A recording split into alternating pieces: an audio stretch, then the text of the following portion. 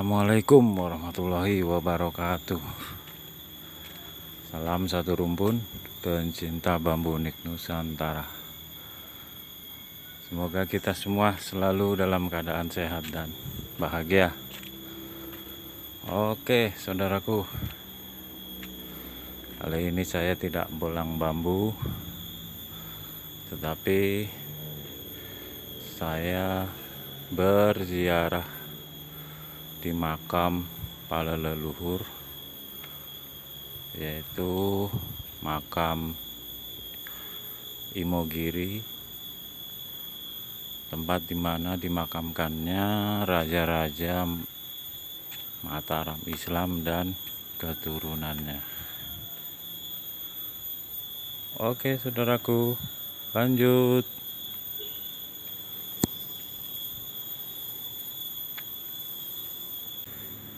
Saat ini saya sedang menaiki anak tangga yang jumlahnya 409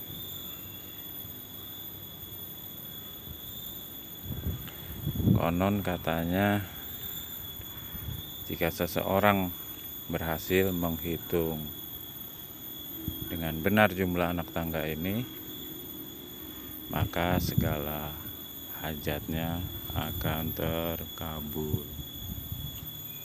Ini hanyalah mitos saudaraku. Bagi yang percaya ya silakan. Tidak pun tidak apa-apa. Oh banyak sekali rumpun bambunya nih. Uh sayang sekali. Ini merupakan salah satu pelestarian cagar budaya daerah istimewa Yogyakarta. Jadi ada larangan untuk merusaknya atau memotongnya. Oke saudaraku mari kita lanjut menaiki anak tangga ini.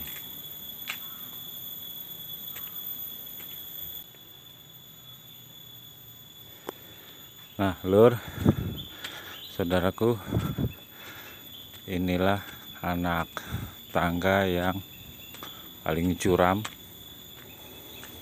Yang kemiringannya sekitar 45 derajat dan ketinggian 100 meter dari permukaan laut. Oh. Perjalanan yang melelahkan saudaraku dan itu ada pertigaan komplek pemakaman. Mari kita menuju ke sana. Alhamdulillah lur. Saudaraku saya sampai di pertigaan komplek pemakaman. Nah ini uh, tangga ini menuju uh, komplek pemakaman Kesultanan Agung. Uh, sedangkan ini yang sebelah kanan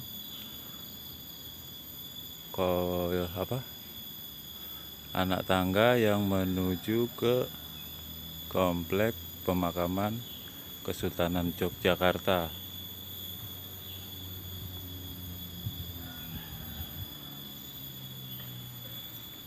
sementara yang sebelah kiri sini ini adalah komplek Kasunanan Surakarta. Mari kita menuju ke komplek pemakaman Kesultanan Agung terlebih dahulu. Nah ini ada ibu-ibu atau nenek yang sedang berjualan. Kalau haus ya saudaraku tinggal membelinya saja. Oke mari kita naik anak tangga ini.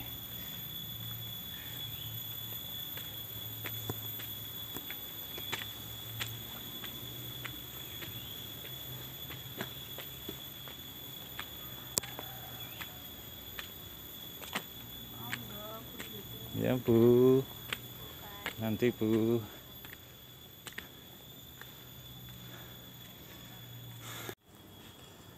Nah, sahabatku, ini adalah makam Tumenggung Endranoto, sang pengkhianat kerajaan yang dihukum pancung menjadi tiga bagian.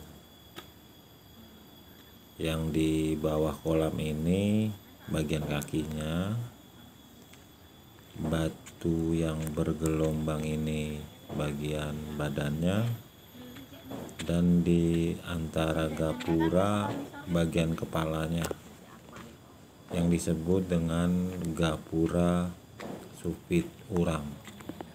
Nah, ini dia lur bagian kepalanya. Kebetulan hari ini sedang hari libur sekolah, jadi banyak pengunjung yang berziarah.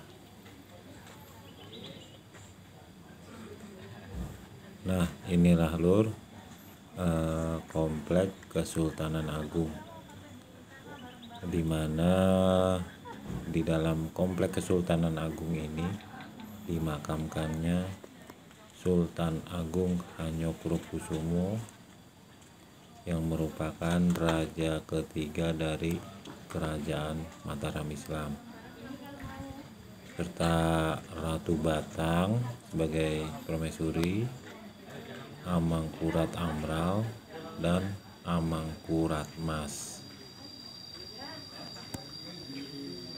Sekarang kita menuju ke komplek pemakaman Kesultanan Yogyakarta. Di mana di setiap komplek kesultanan ini dibagi menjadi tiga komplek lagi. Yang setiap kompleknya disebut dengan sebutan kedaton. Nah itulah pintu gerbangnya sahabat. Inilah kedaton pertama yang disebut dengan kedaton Kasuwargan di mana dimakamkannya Sri Sultan Hamengkubuwono pertama dan ketiga. Sedangkan Sri Sultan Hamengkubuwono kedua dimakamkan di Kota Gede. Nah yang ini yang kedua disebut dengan kedaton bersiaran di mana dimakamkannya Sri Sultan Hamengkubuwono keempat, kelima, dan keenam. Dan yang ketiga kedaton Sabtorenggo. di mana di Kedaton Sabto Renggo ini dimakamkannya Sri Sultan Hamengkubuwono ke-7 Sri Sultan Hamengkubuwono ke-8 dan Sri Sultan Hamengkubuwono ke-9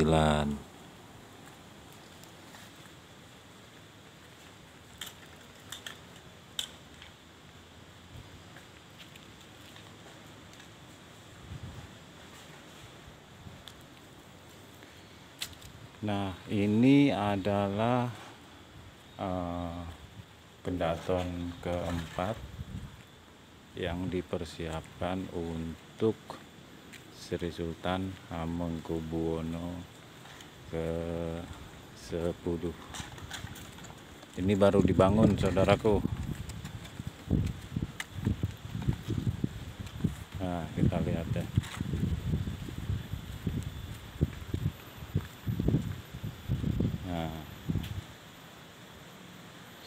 Inilah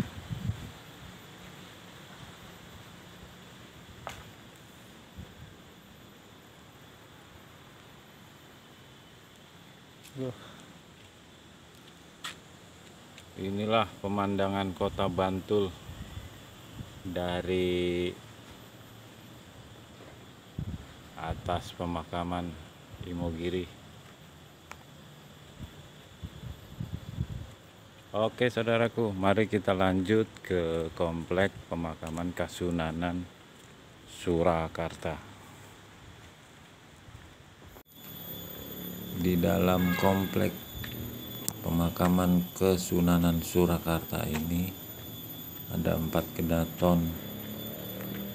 Kedaton yang pertama tidak sempat saya liput yang bernama Kedaton Pakubuanan karena sedang acara nyekar di mana dimakamkannya Sri Sultan atau Sri Susuhunan Pakubuwono pertama, Sri Susuhunan Pakubuwono kedua, dan Amangkurat keempat atau Amangkurat Jawa. Kita langsung saja ke kedaton yang kedua yaitu kedaton Kasuwargan di mana dimakamkannya Sri Susuhunan Pakubuwono ketiga, keempat, dan kelima. Lanjut kita ke kedaton yang ketiga yaitu kedaton Astana Luhur di mana dimakamkannya Sri Susuhunan Pakubuwono ke-6, ke-7 dan ke-8 serta Sri Susuhunan Pakubuwono ke-9.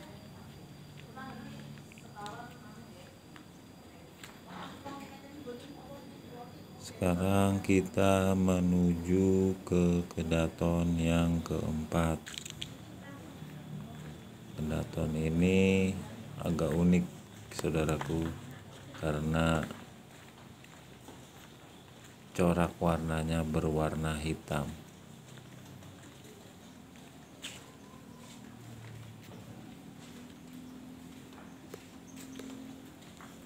Nah, inilah kedaton Giri Mulyo di mana di dalam komplek atau kedaton ini dimakamkannya Sri Susuhunan Pakubuwono ke-10 Sri Susuhunan Pakubuwono ke-11 dan Sri Susuhunan Pakubuwono ke-12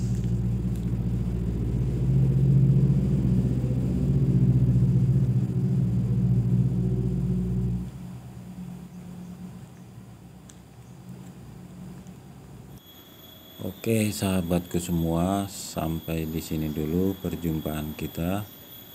Jika ada kata-kata yang salah dalam penyebutan nama dan gelar, saya mohon maaf. Billahi taufiq wal hidayah.